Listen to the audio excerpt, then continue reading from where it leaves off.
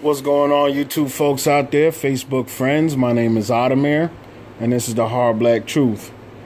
And I just got done watching uh, Nicole's View, and she had a video of a uh, uh, interaction between the White House press secretary Sarah Huckabee and I'm not sure who the black news reporter was, but it was a black female news reporter, and it just seemed as though she played the perfect token role for that portion of the press conference. I mean, it was it was sad to see that she had uh, essentially given up on arguing that the anthem in and of itself has racist origins. She didn't even address that, and it nobody seems to want to address that. And to that, I'm gonna say, as a black man, I should not be singing my oppressor's song. I should not. It should not be a normalized thing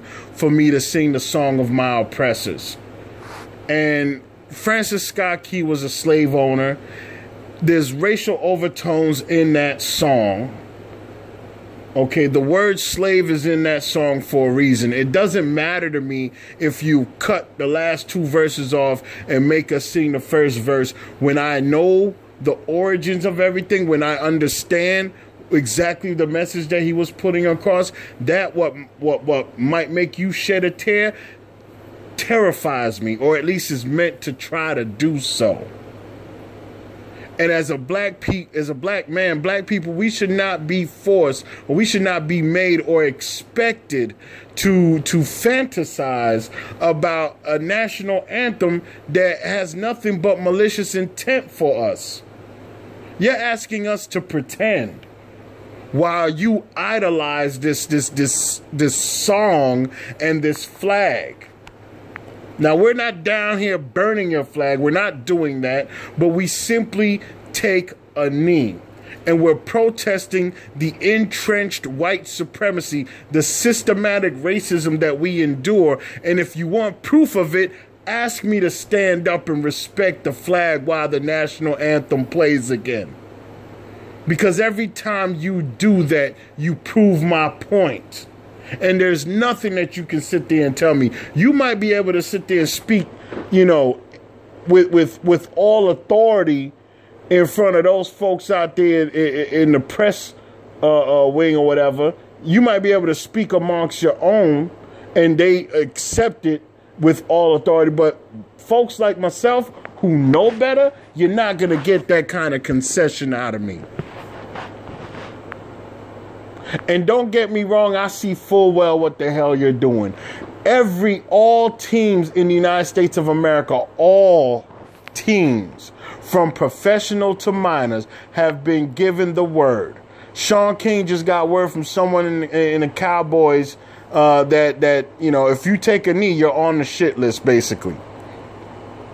We got schools down there in Louisiana, if I'm not mistaken, telling the students that if they take a knee, it'll be viewed as disturbing the peace and they can lose their spot on the team for doing so.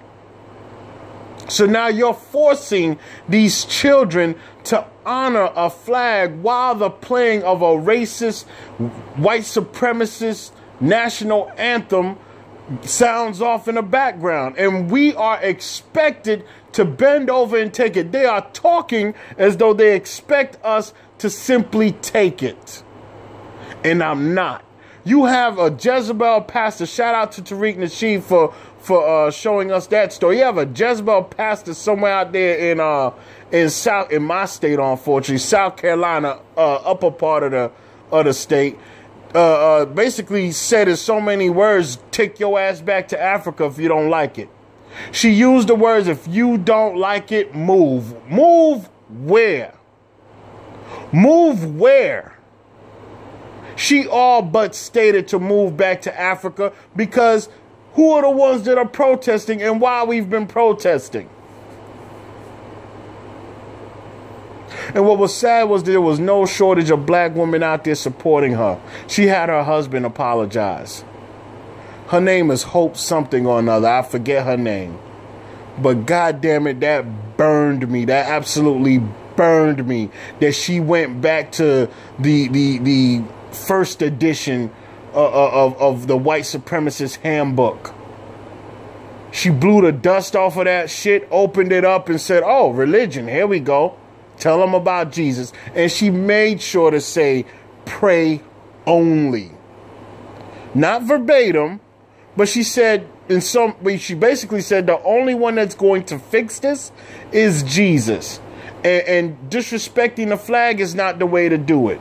As far as these white supremacists are concerned, and I have nothing but but but hatred and vitriol for you at this point if you try to demand of me that I somehow honor your flag during the playing of the national anthem. You, in my book, are a white supremacist. And there's nothing you can tell me to convince me otherwise.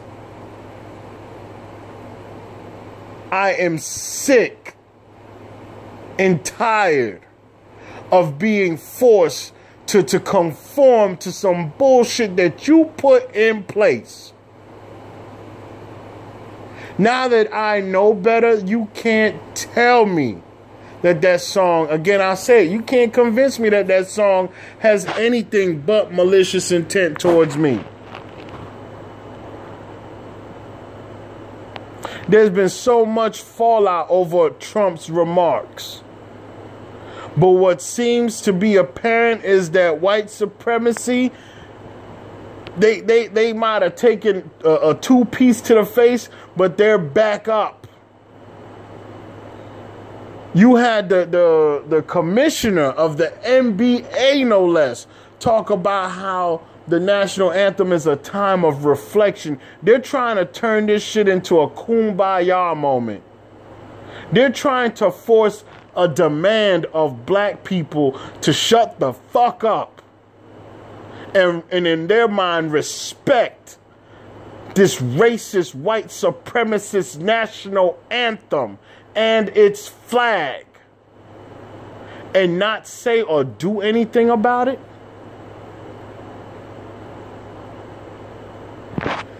Those are my thoughts. You guys let me know how you feel. Hold on to our narrative. Lung Yao One here. Peace.